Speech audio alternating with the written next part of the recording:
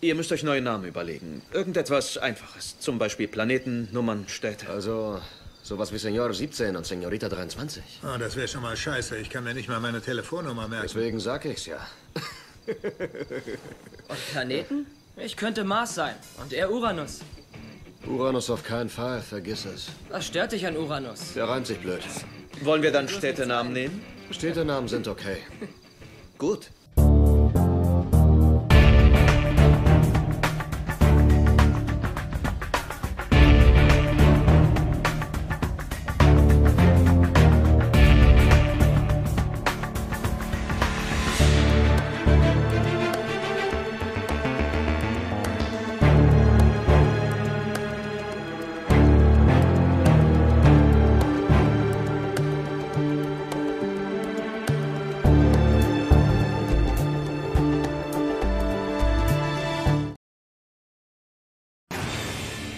Stellt euch vor, die werden Tag für Tag in den Nachrichten über uns reden.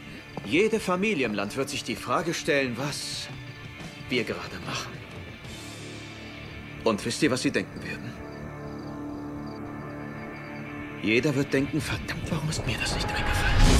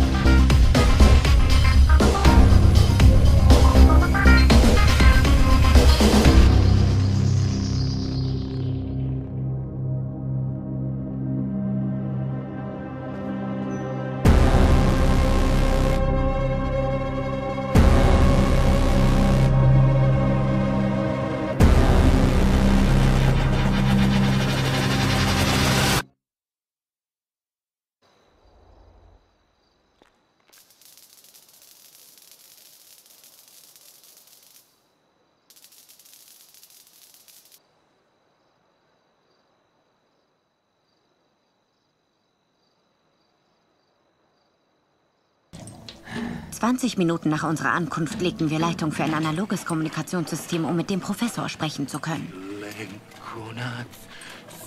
Ohne Handys, ohne Funkgeräte. So konnte man uns nicht abhören.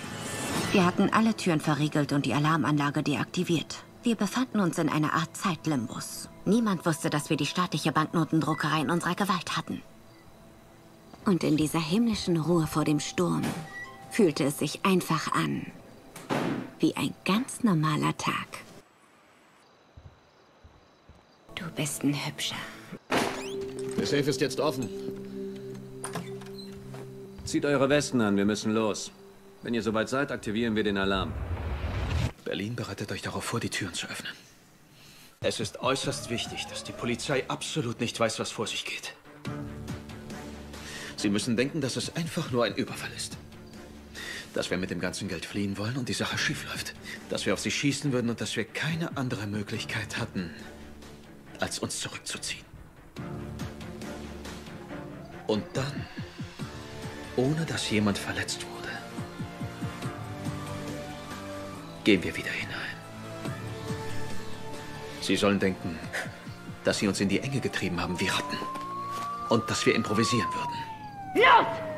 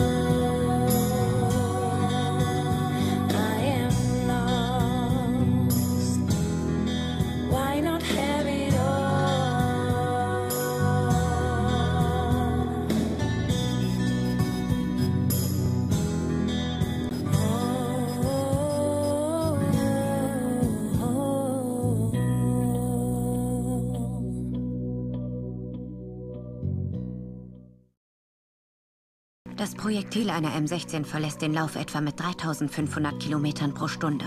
Es ist schneller als der Schall. Das heißt, wenn sie dir ins Herz schießen, hörst du das Projektil, das dich tötet, nicht einmal. So wusste ich, dass ich es war, die alles vermasselt hatte. Im Bruchteil einer Sekunde.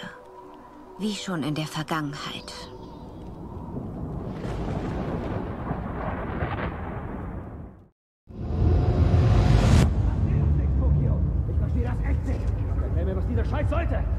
Teufel war das? Was? Wer ist denn für den verfickten Verstand? Was soll das? Du hast zwei Polizisten angeschossen! Was soll das? Auf einmal war da dieser Bull und hat einfach auf mich geschossen. Was hättest du getan? Ihn angespuckt? Verdammte Scheiß auf mein Leben! Was solltest du tun? Du solltest dich an den verdammten Plan halten. Wir sind ihn bestimmt 400 Millionen Mal durchgegangen. Uns wurde gesagt, dass wir auf niemanden schießen. Ich bin hingefallen. Sie hat mich Halt die gedeckt. Schnauze! Nairobi und ich haben dich auch gedeckt! Aber wir haben in die Luft geschossen und nicht auf die Polizisten!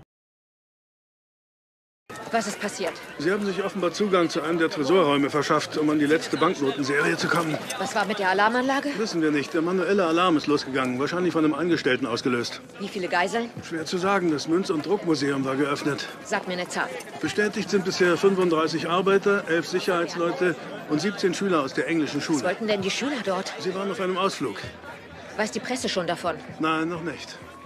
Irgendwas über die Täter? Bis jetzt nicht. Wir sind dabei, Aufnahmen von Überwachungskameras der anliegenden Läden zu sichten. Was glaubst du, wie viele es sind? Vier sind kurz rausgekommen. Wir nehmen an, mindestens sechs. Waffen? Wir wissen, dass sie mindestens drei M16 haben und sie sind ziemlich aggressiv. Ah, die Spezialeinheit. Ja, die war als erste hier.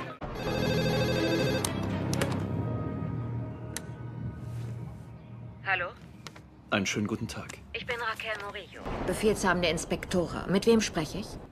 Mit dem befehlshabenden Geiselnehmer. Er benutzt einen Stimmverzerrer. Wir versuchen es zu entzerren. Wie geht es Ihren verletzten Kollegen? Gott sei Dank haben wir bisher keine Verluste zu beklagen. Das freut mich. Das freut mich aufrichtig.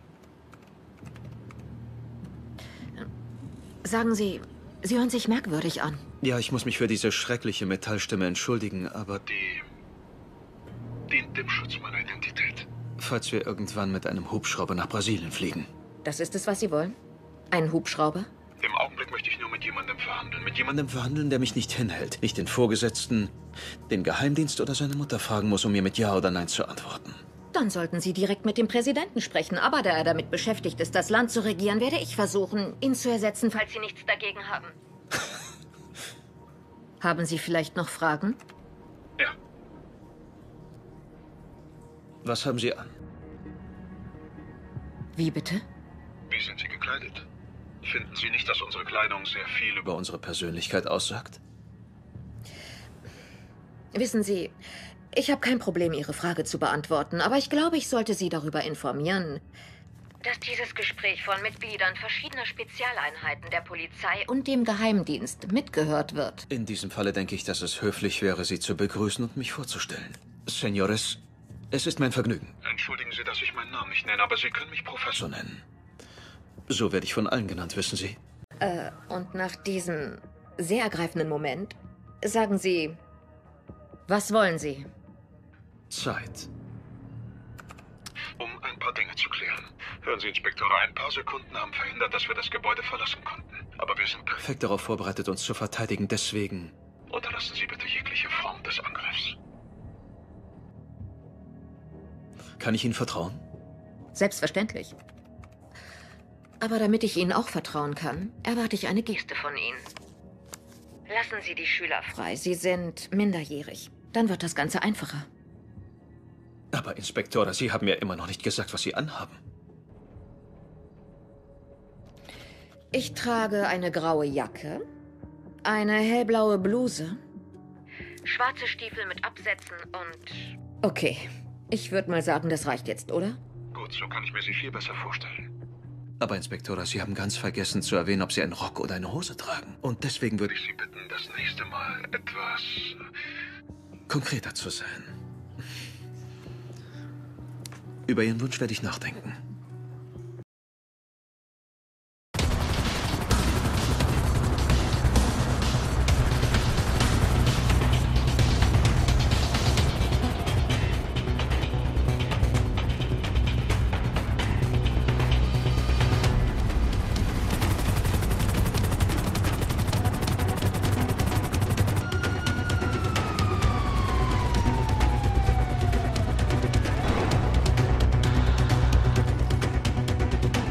Diese gepanzerten Fahrzeuge da draußen? Wir werden stürmen. Mit allen. Was? Das passiert, wenn ich das anordne. Das habe ich nicht. Ich habe das Kommando. Das ist ein Befehl von oben. Eine von den Geiseln hat Priorität 1. Wissen Sie, was Priorität 1 bedeutet? Sie werden eindringen. Sie werden eindringen, weil wir unser Lämmchen haben. Alison Parker. Tochter von Sir Benjamin Parker, Botschafter des Vereinigten Königreichs und enger Freund der Königin. Uns bleibt nichts weiter übrig, als zu stürmen, denn wenn wir jetzt nichts tun, weiß morgen das ganze Land über die Sache Bescheid. Sie werden glauben, dass wir es nicht wissen. Sie werden glauben, dass Sie es geschafft haben, die Informationen vor der Öffentlichkeit geheim zu halten. Heute ist sie nur eine der Geiseln, aber morgen wird sie ihr Hauptziel sein und alle Pistolen werden auf den Kopf des Mädchens zielen. Wollen Sie das wirklich? Hm?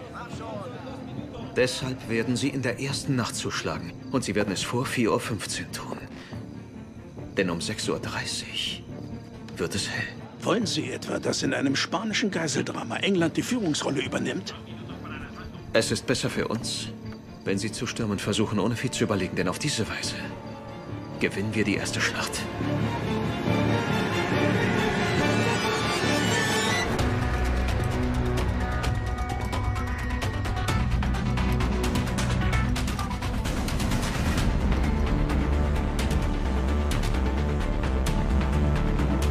Raquel, es läuft ein Anruf von einer der Geiseln. Alison Parker. Heute Morgen wieder unsere Rubrik Hörerfragen. Lauter.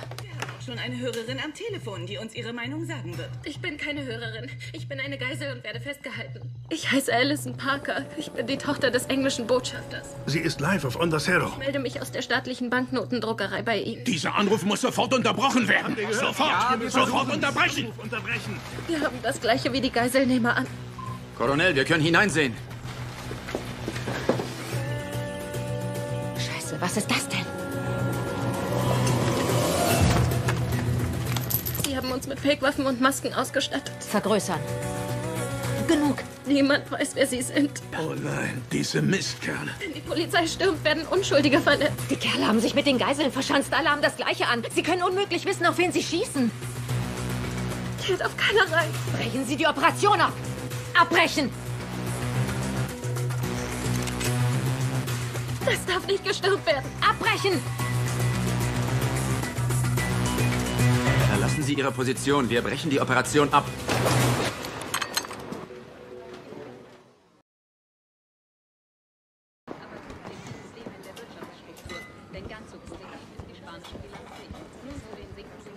Einen entkoffinierten Kaffee, bitte. Der Anrufbeantworter von Marie. Wie hinterlassen Sie eine Nachricht nach dem Piepton? Mama, ich habe jetzt Feierabend. Ich.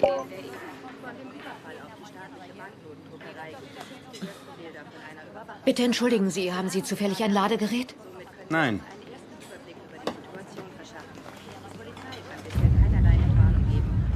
Möchten Sie meins benutzen?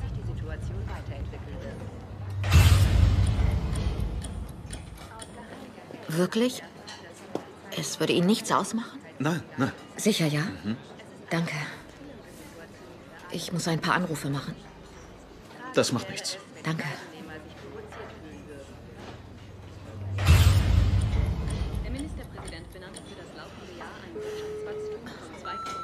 Mama, ich bin jetzt fertig. Ich komme. Kommissario Sanchez, hinterlassen Sie eine Nachricht. Hier ist Inspektora Morello. Ich weiß, es ist spät. Nur eins. Sollte die Sache dem Geheimdienst übergeben werden, eventuell aus diplomatischem Interesse, stehe ich als Strohfrau nicht zur Verfügung, während diese Gorillas schwer bewaffnet da reinstürmen. Ich kann nicht jedes Mal springen, wenn Rejeto ruft. Ich wünsche eine gute Nacht. Wir reden morgen. Danke. Gern geschehen.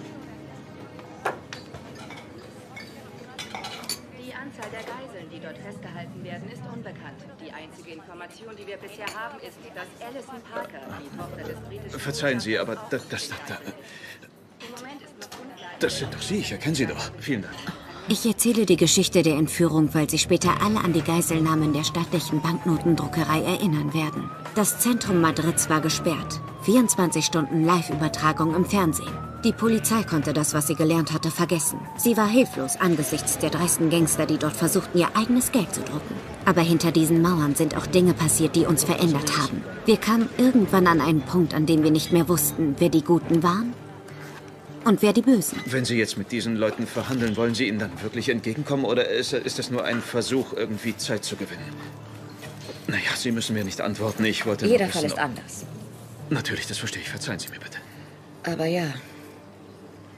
Ja, Sie haben recht. Wir versuchen, die Gemüter zu beruhigen und irgendwie Zeit zu gewinnen.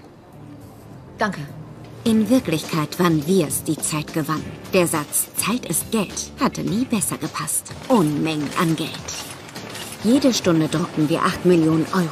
1400 Seiten Banknotenpapier, die wir dann in 140.000 50-Euro-Scheine zerschnitten. Seht ihr die gestrichelte Linie? An dieser Stelle brecht ihr den Beton auf. Und zwar genau auf der Linie. So, als wäre das ein Ausschneidebogen für Kinder.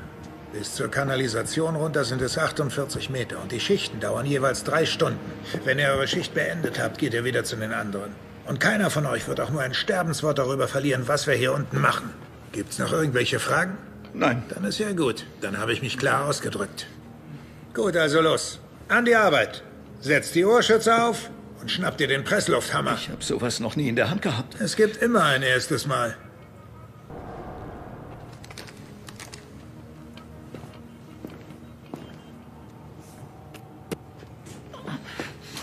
Hey, und pass bloß auf. Du wärst nicht der Erste, der dabei einen Fuß verlieren würde.